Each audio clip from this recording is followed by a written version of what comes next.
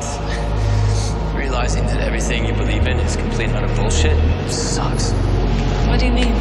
Uh, you know, destiny and soulmates, true love, and all that childhood fairy tale nonsense. You were right. I, I should have listened to you. No.